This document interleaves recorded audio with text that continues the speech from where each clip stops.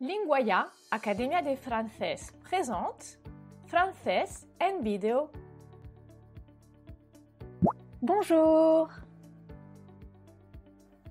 En este video vamos a ver le verbe faire, el verbo hacer en presente del indicativo. Je fais, A-I-E, la S no suena. Tu fais.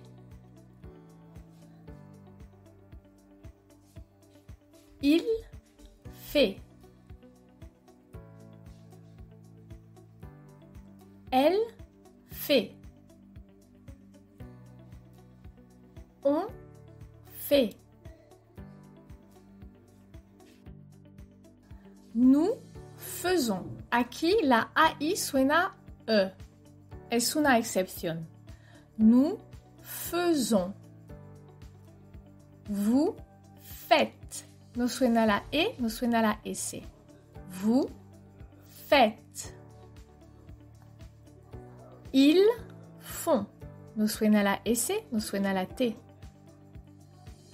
Elles font. Et voilà, c'est fini pour cette vidéo. Espero que os guste et os ayude. À bientôt!